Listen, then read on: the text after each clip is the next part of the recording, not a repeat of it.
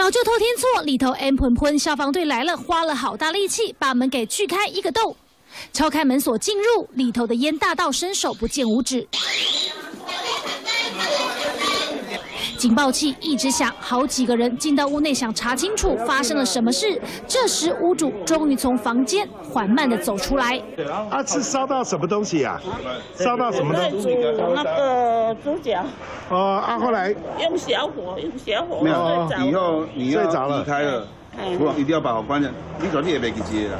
阿婆双手合十，一脸抱歉，在屋内开小火炖猪脚，没想到一个不注意，差点灰手土。只是警报器一直响，烟一直飘，人怎么都没发现。配只 MV 无啊？无啦，啊，拢无听到，拢无听到迄叫哦。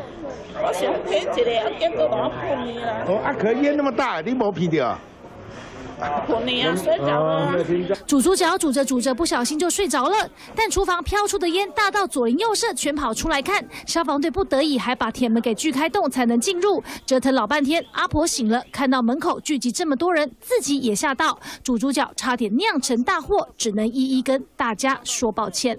三九天剧洪淑珠高雄报道。